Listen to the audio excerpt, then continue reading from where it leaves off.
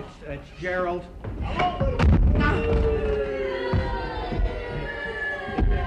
No, Want to let the clown in? no, take it back, Mr. Wallace. Take it back. Ah, yeah. Hiya, friend. Mr. Wallace, What is it exactly you want me to take will you back? take back the clown? Why? It doesn't work. What do you mean it doesn't work? Come here, clown, do something funny. See, the clown works fine. Mr. Wallace, the clown is not funny.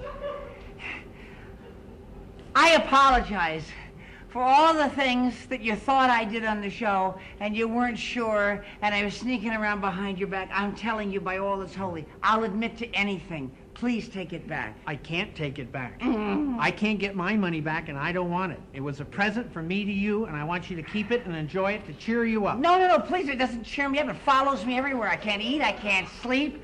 Please, I don't want a clown in my neighborhood. I mean, after all, You haven't seen him at his best. Hey, clown, give him the A stuff.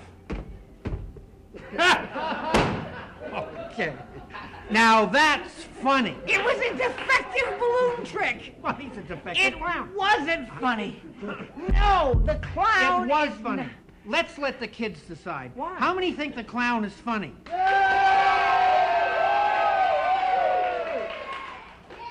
Well, there you have it. Please take the clown back. Yuck, Take yuck, the yuck. clown back. I will. I don't want the clown.